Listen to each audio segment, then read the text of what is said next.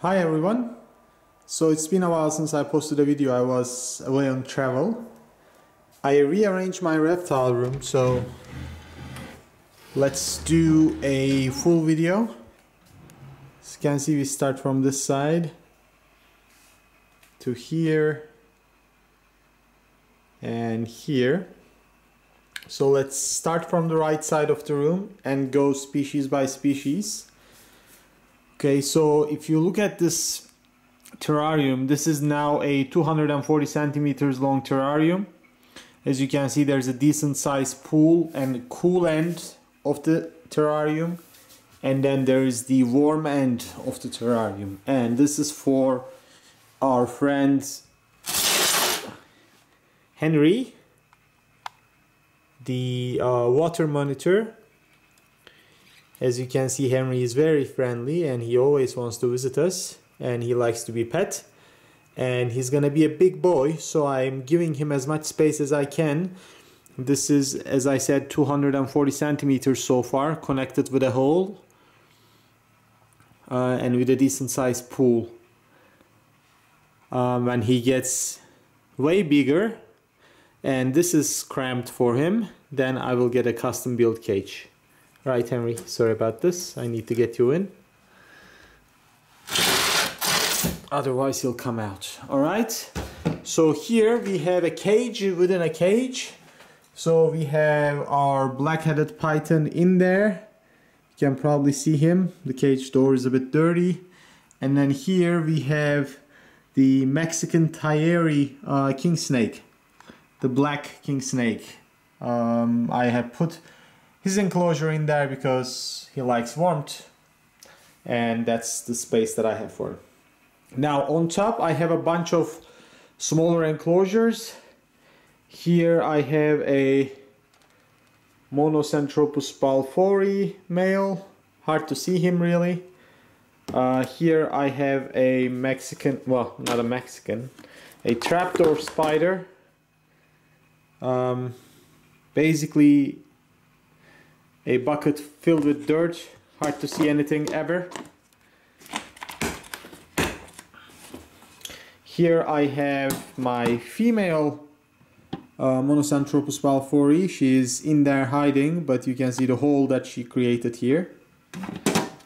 Alright here I have another uh, full container filled with uh, wood pieces of wood because we have uh, two Dynastes hercules uh, larvae in there. So let me quickly put you guys to the side. It's hard to see the larvae, so I'm not gonna look at those, but I'll show you something else. Here in this one, I have the Indian tiger centipedes. Let's have a look at him as you can see it's getting to be a big boy living the life in this nice enclosure. All right.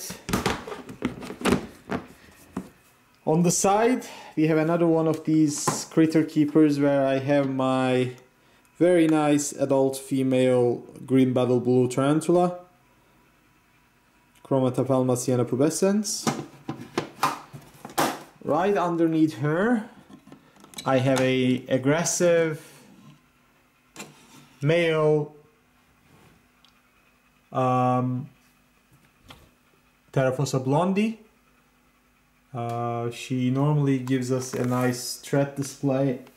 Let me bug her a little bit with this piece of yeah. So I don't think you saw all of that but he is feisty, that's for sure. Let's see if I can get him away so we don't get his legs stuck. Alright. Um, Theraphosa blondi is probably one of my favorite arachnids. Alright, here we have a bucket filled with roaches. Three different species of roach live here. It's stinky but it's humid and it works fine for them. Alright, on this giant cage we have splice, uh, no animal. Here we have a um, green tree python from the Kofiau Islands. This is the female.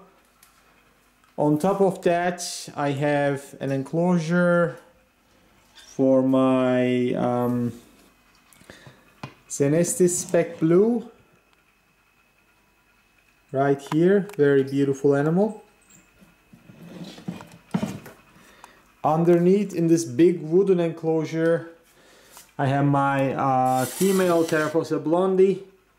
She shed a couple weeks, well, molted a couple weeks ago, so she's quite uh, blackish in color. Atypical for a blondie.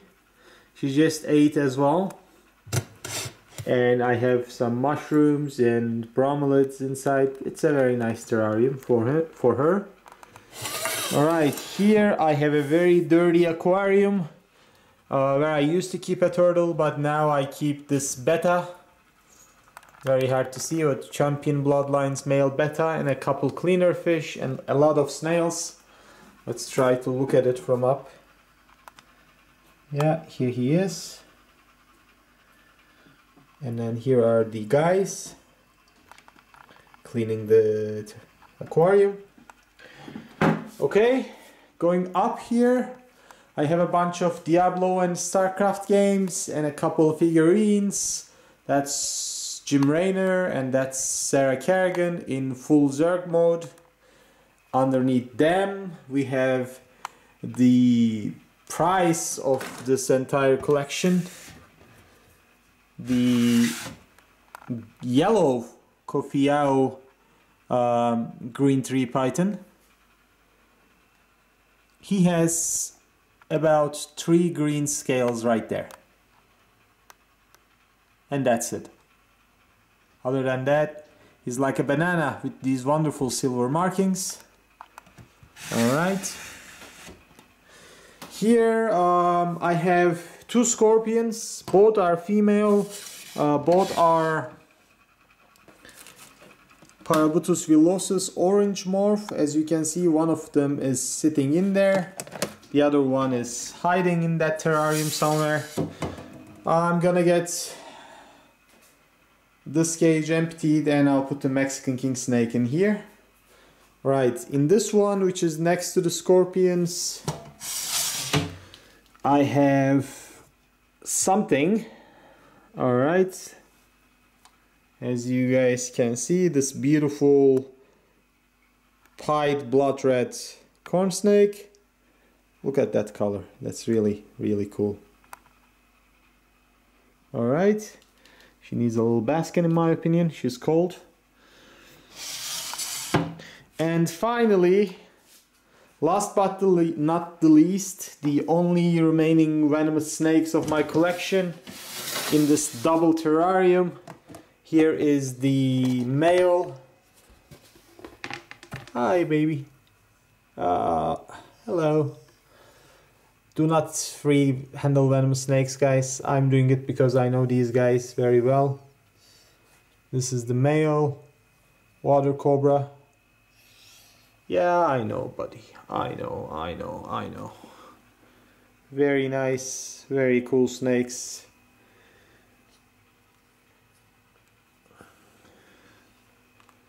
I never had any issues with these guys. That's why these are the only venomous snakes that I have kept. But he is blue and I don't want to mess with him so much. Just need to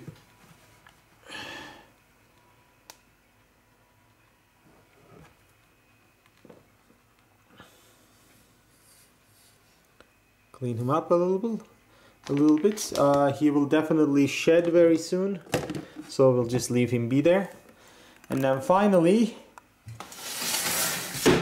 we have the female version. Hi girl.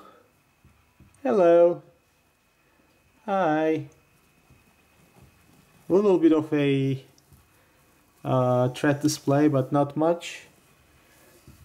We don't get to see these guys hood very well. These are very, very nice animals and coming close to breeding age now. And I will hopefully get to breed them next season. Alright, that's the female that I'm pissing off right now by holding her tail.